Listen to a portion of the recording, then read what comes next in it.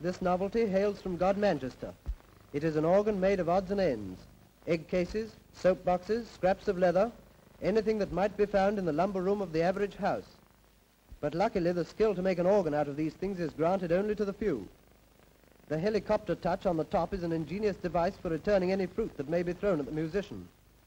The pipes are made from toffee tins and carbide tins. Here's a toffee tin. A. Now perhaps you would like to hear it play. All right, we'll try anything once.